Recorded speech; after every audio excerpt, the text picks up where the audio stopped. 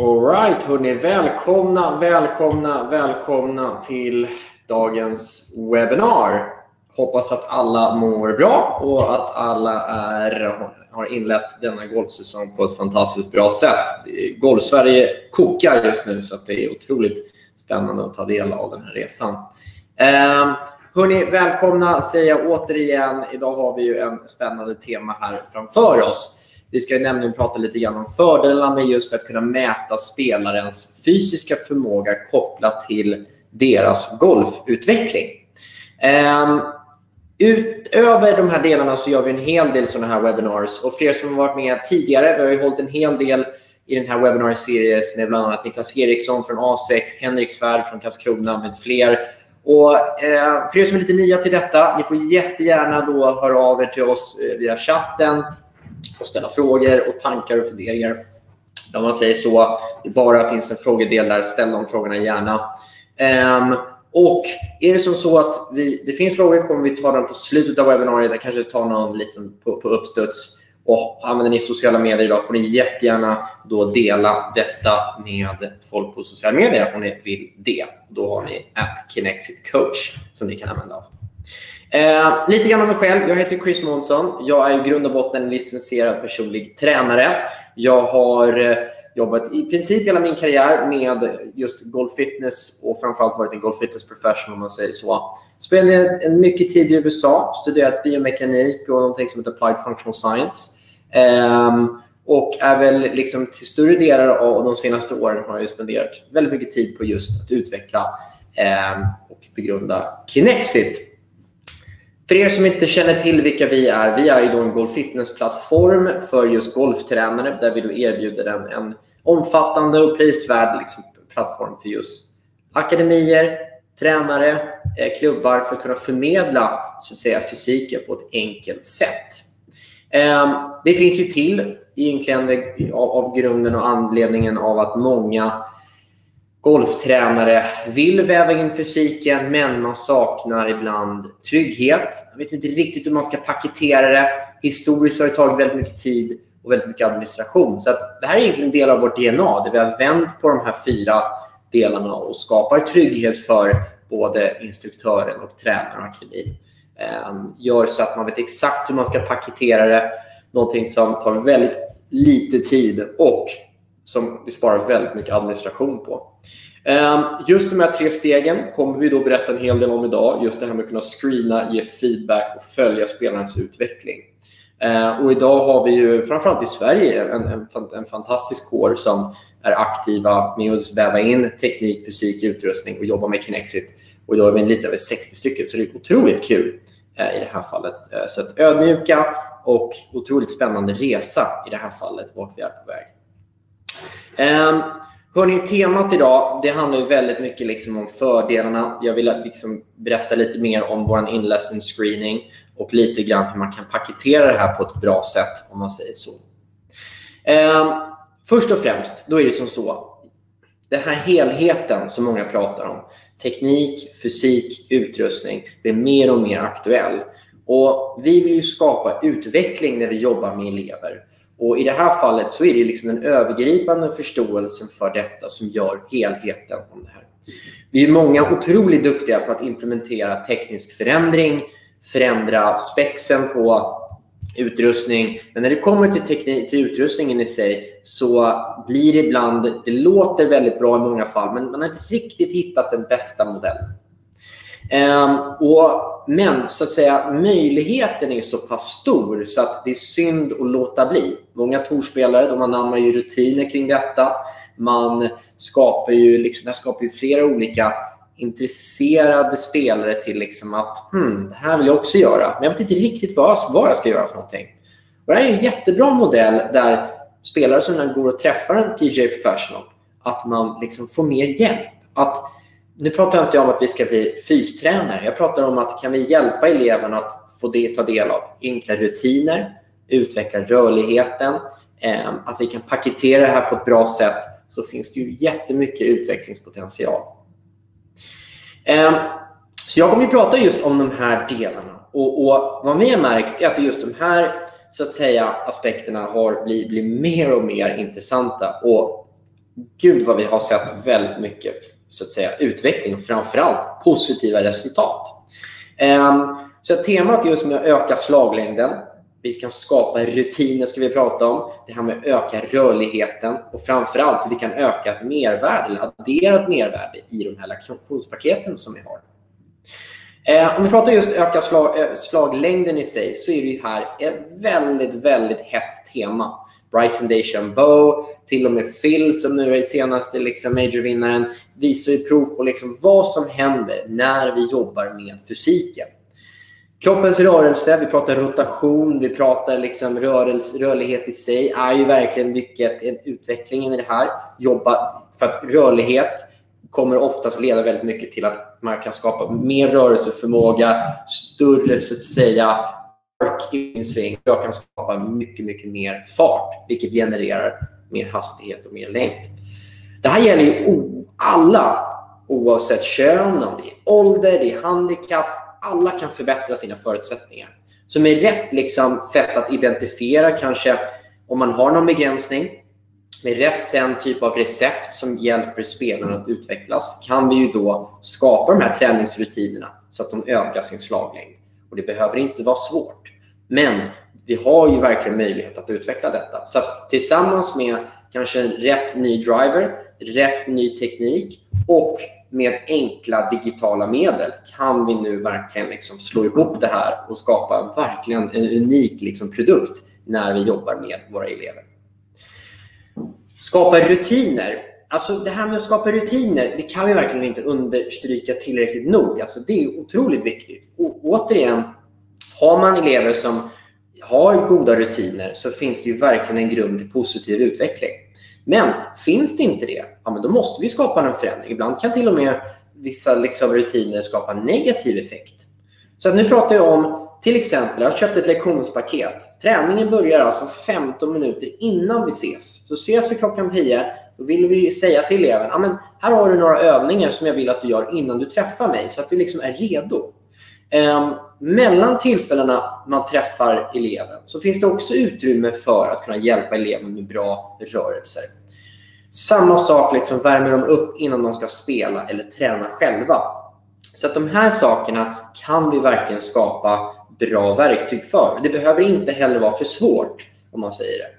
Så att med rätt övningar som kanske genererar lite rotation, kanske ökar lite extension i det här fallet och även så att säga våra primära rörelser i svingen kan vi då göra kroppen redo om man säger så.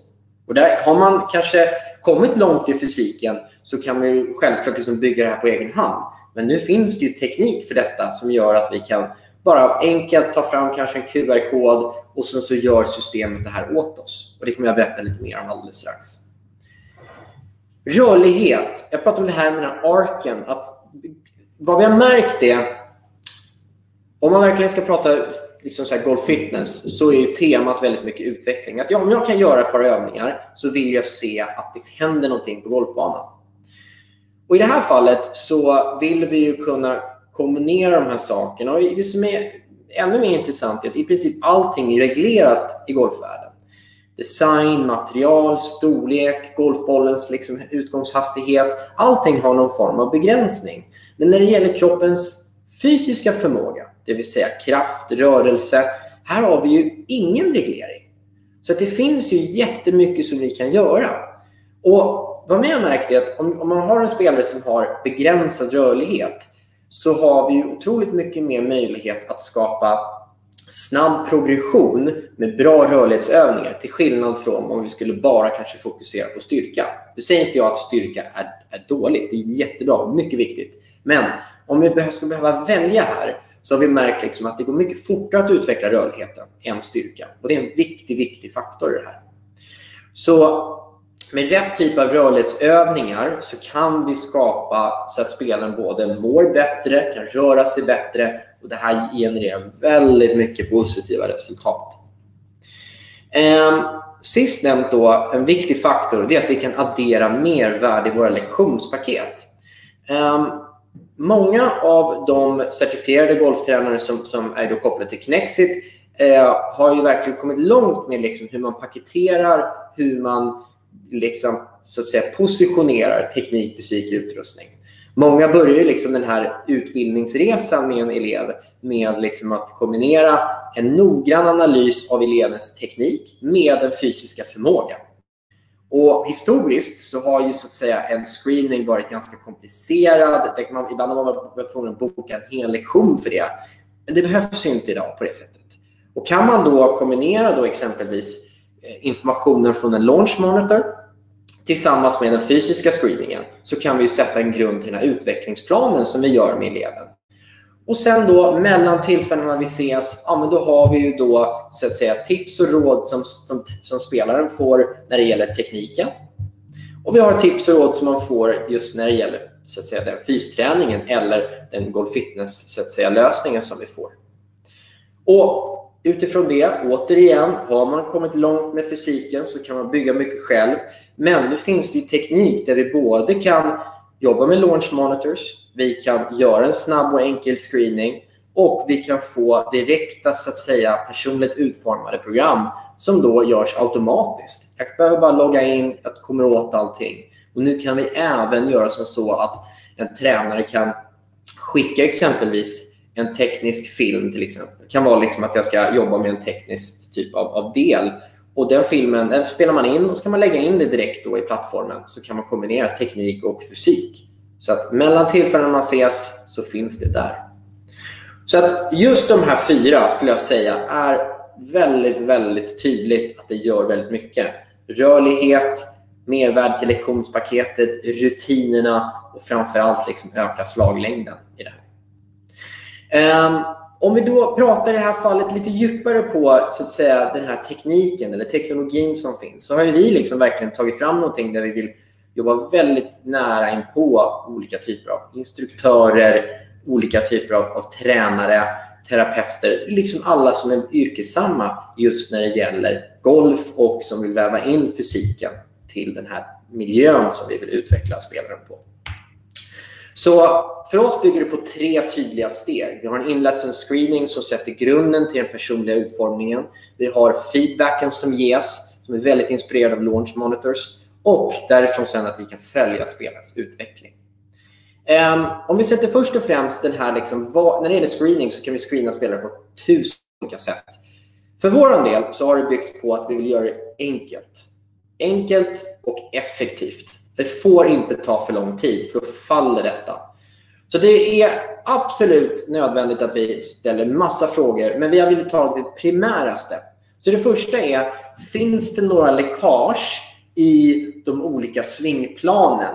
Det vill säga kraften den börjar från nerifrån och upp. Tänk det som liksom en, en energiboll som går från foten upp genom kroppen, ut genom klubban och sen så kommer jag göra kontakt. Finns det så att säga läckage i kroppen där jag har begränsningar, ja, men då kommer den här, då kommer jag läcka energi. Det kommer påverka så att säga svingsekvensen. Den vill vi liksom komma åt. Så då har vi först och främst ställt frågan, kan spelaren röra sig i de olika planen? Det vill säga framåt och bakåt. Vi pratar sidled och vi pratar rotation. Och Sen vill vi veta de tre huvuddelarna i kroppen. Foten, höften och bröstryggen. Gör dem som de ska. Det här är liksom grunden. Och I det här så har vi då skapat en inläsningsscreening som har sju tester den är snabb och effektiv. Den är framförallt byggd för att man ska identifiera begränsningar i fot, höft, bröstrygg och framförallt i de här tre rörelseplanen. Första delen i screeningen bygger på fotens rörlighet. Alla våra tester bygger på att vi har ett måttband, vi har en spelare, vi har en tränare i, i många fall Spelaren kommer då att följa guiden från, som är tränare i det här fallet. Jag har ju min app som jag kan komma åt, men tränaren kommer då i flesta fall liksom guida spelaren igenom detta. Jag kommer då att som spelare i det här testet driva mitt knä mot väggen. För det är just väggen som är utgångspunkten och måttbandet är det jag då bestämmer avståndet om man säger så. Alla tester är alltså avståndet mellan den stortån och så att säga väggen. I det här testet då vill vi veta fotens rörlighet och då ska vi driva knät mot väggen så långt fram vi kan och vi ska göra det här på hög fot.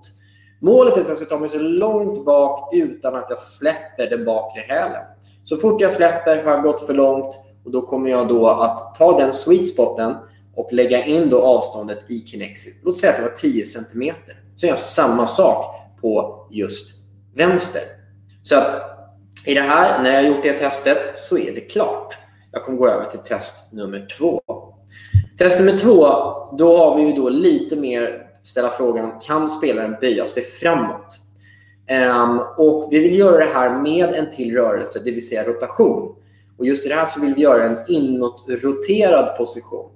För när jag kommer till toppen av min baksving så kommer jag automatiskt börja inåtrotera när jag är högerspelare i min högra höft. Och jag kommer utåtrotera i den främre. Så det kommer vara inåt och utåt och när jag får kontakt så kommer jag göra tvärtom. Jag vill då veta som Kinexit i det här fallet och som tränare, kan spelaren skapa tillräckligt mycket inåtrotation och utåtrotation för att det ska skapa förutsättningarna till, till den svingen vi vill. Och I det här fallet så vill vi göra detta genom att de då ska ta händerna ihop, jag ska driva händerna ner mot kanten där golvet och väggen möts och målet är att jag ska ta mig så långt bak jag kan som spelare utan att jag släpper den hälen som jag mäter med, det vill säga höger i det här fallet. Sen när jag gjort det så kommer jag göra vänster. Och låt säga att jag hade 25 cm på höger fot och 27 cm på vänster fot. Och då kommer då jag lägga in det i Kinexit och gör jag sen test nummer tre. Det här är exakt samma sak, men vi vill få med utåtrotationen i kroppen, det vill säga foten pekar utåt. Den är också väldigt viktig för vi har ju de här båda rotationerna. Samma process, händerna ihop, händerna kommer drivas ner och målet är att jag ska ta mig så långt bak jag kan utan att jag släpper hälen. Här är oftast lite bättre. Låt säga att jag hade 30 cm på höger, 29 på vänster. Jag lägger in det och jag kommer därifrån sen att göra test nummer fyra. Nu går vi över till kroppens förmåga att kunna böja sig bakåt. Spelaren kommer ha ryggen mot väggen. Jag kommer att försöka ha som mål att nudda väggen och komma tillbaks. Jag ska göra detta med en inåtroterad position. För återigen, vi behöver ju både rotation, vi behöver extension och sidböj för att komma till det läget jag vill. Ehm, så att extension är viktig. Och vi vill då veta hur pass bra de kan ta sig från väggen utan att de tappar balans eller utan att man helt enkelt så att säga kompenserar. Så, så fort man har nått sin sweet spot här, då lägger man in resultatet, alltså fotens eller stortåns position till väggen. Jag gör detta på höger, jag gör detta på vänster och jag kommer lägga in detta i Kinexit. Låt säga att jag hade kanske 35 på höger och det var jämnt, så det var 35 på vänster också. Och nu kommer vi även göra detta med en utroterad position. För vi kommer ihåg det här med rotationerna, hur viktiga de var. Och då gör vi samma sak här. Ehm, och oftast här i många fall så är det bättre för att man vill öppna upp. Så låt säga att jag hade 40 på båda sidorna. Nu kommer vi över till de sista två testerna. Vi har testat framåt, vi har testat bakåt, vi har testat så att säga rotationen med våra positioner och nu ska vi testa sidböjning. För den behövs ju. För att om jag bara roterar och gör det här, då kommer jag inte kunna se bollen. Då tittar jag bara här. Så jag måste kunna sidböja för att jag ska kunna, kunna få ögonkontakt med bollen.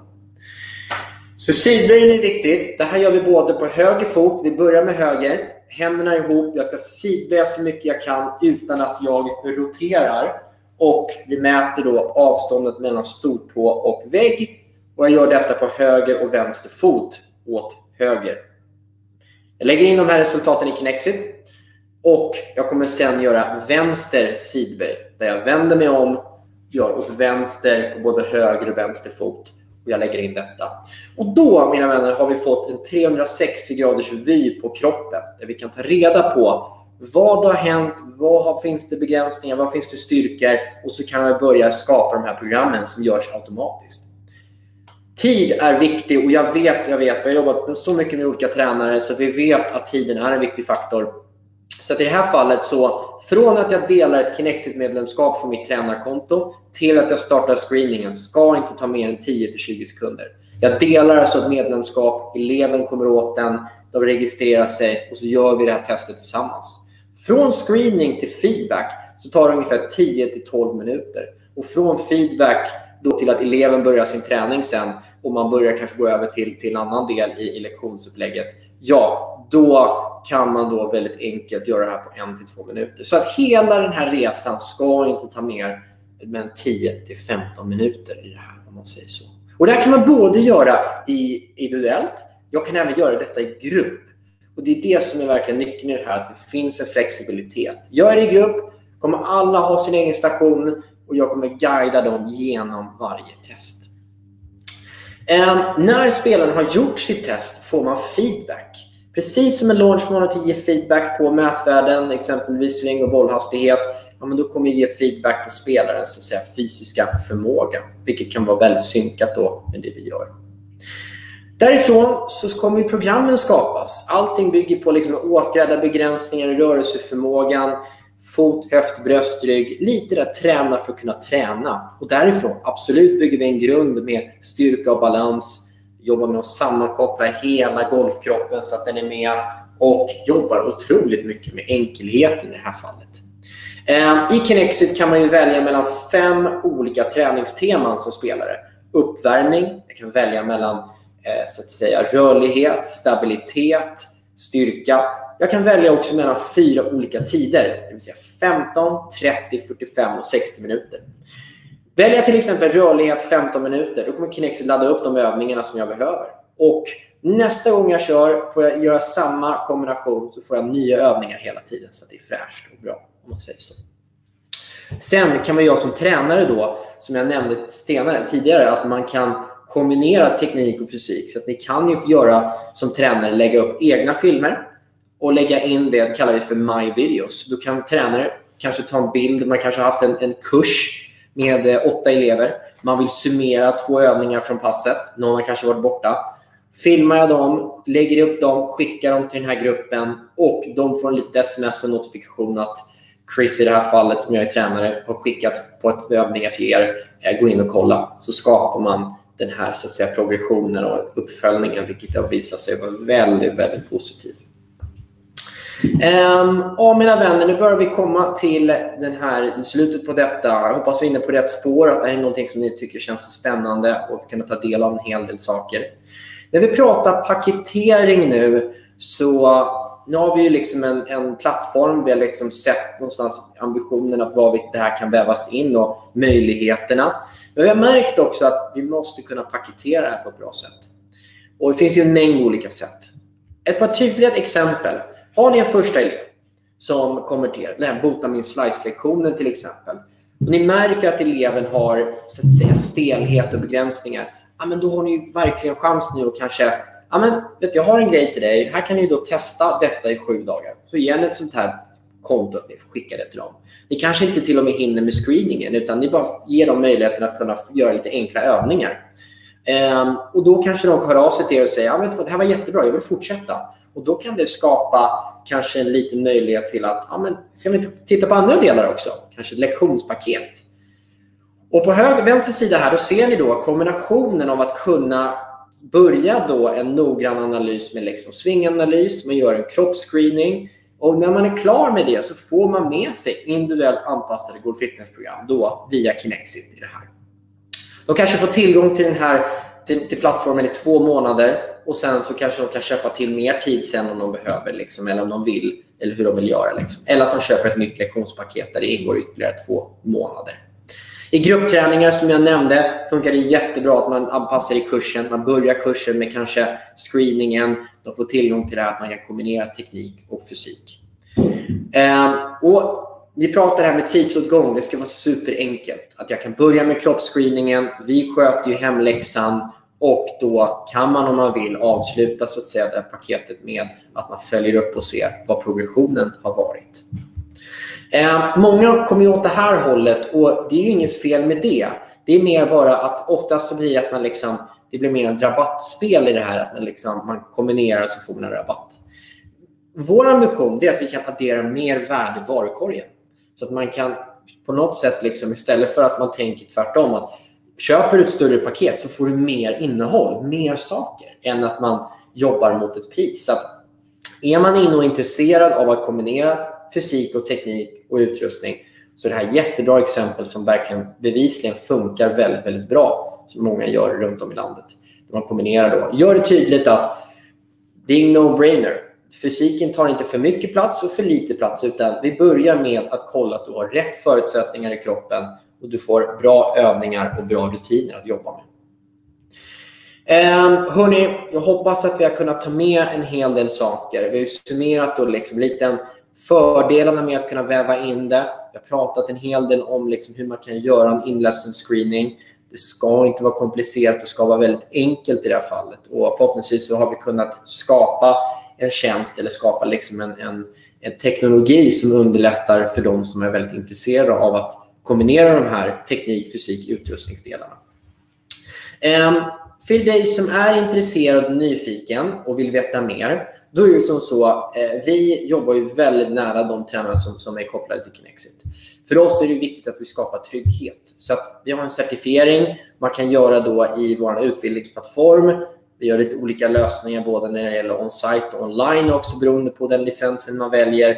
Eh, och Den är väldigt kort så att först är trygghet, att man är trygg med hur man ska göra detta. Vi går igenom lite biomekanik, funktioner, hur man gör inlesson screeningen och framför allt kommer vi med tips och råd kring paketering. Ehm, för dig som är intresserad och vill veta lite mer liksom när det gäller så att säga, ja, men vad kostar det här? Hur funkar det i det här fallet? Då har vi tre olika typer av licenser idag. Eh, och de varierar lite grann hur många elever som man vill koppla på och vilka funktioner som man vill ha tillgång till. Alla har ju tillgång till funktionella rörlighetsanalysen, automatiserade rapporter, hela den delen. Vill man kunna skicka lite mer filmer, få lite mer liksom, här jag vill ha hjälp att komma igång snabbt. Eh, vi har lite andra delar där också. Finns det andra verktyg? Och så har vi lite så att säga olika typer av lösningar. Men vi tar gärna en diskussion och en dialog så att vi kan matcha rätt. Och man kan alltid liksom eh, göra det flexibelt. Att man börjar på en plan och så kan man alltid uppgradera och nedgradera under säsong. Så det är inga konstigheter. Så det är bara att man liksom, vi vill matcha med de behoven som våra tränare har helt enkelt. Eh, vi har även vår, så att säga, vår knowledge center eller vår kunskapsbank som alla våra certifierade tränare har tillgång till. Eh, då har man ju då allt ifrån liksom utbildningsmaterial, paketeringsförslag, sociala medieunderlag, eh, kommunikationsdelar, så till exempel texter som man kan ha på sin hemsida eller om man vill ha liksom i, i utskick och sådana saker så att man slipper uppfinna hjulet i det här. Utan eh, det är ja, helt enkelt för att det ska vara enkelt att komma igång, om man säger så. Hörni, nu börjar vi komma till slutet av detta. Eh, jag säger stort tack att ni har tagit er tid för att vara med. Och eh, Jag vet att det är mitt, eller början liksom i kommit igång med den här säsongen. Och eh, Det känns ju verkligen kul att ni har ja, hängt på och varit med. Är det som så att ni har frågor eller tankar så får ni jättegärna ställa dem i vår frågedel. Så ställ gärna frågor om ni vill. Eh, kanske undrar någonting om fysiken eller just, det som Kinexit Sen kan ni alltid gå in på Kinexit och eh, boka ett möte med oss. Eh, vill ni så kan ni då använda den här, kinexit.com request. Eh, där kan man då gå in och anmäla intresse eh, för att ta del av lite mer information. Eh, man kanske vill boka ett möte, få in lite mer liksom, information om, om det här är någonting som skulle kunna passa eh, mig och det här är någonting som skulle kunna funka om man säger så. Um, så att, eh, gör vi så här. Så. Där finns den. Så om man vill klicka på den så kan man då komma åt, så att säga, om man vill boka ett möte eh, och ta del av lite mer information i det här fallet. Eh, Ja, mina vänner, stort jättetack för att eh, ni var med. Jag hoppas att det här har varit värdefullt, och att ni har kunnat ta med er lite bra information. Eh, vill ni och har ni frågor så kan ni höra av er till mig på chris.kinexit.com så kan vi ta det i efterhand också. Eh, om inte annat så säger jag stort tack för idag Eh, och återseende och hoppas att vi eh, har möjlighet att ta en liten dialog och diskussion längre fram. Eh, lycka till fortsätt med, nu med, med säsongen och ehm, ja, jobba inte ihjäl er men passa på och maximera detta nu. Hörni, sköt om er och ha en fin torsdag. Hej!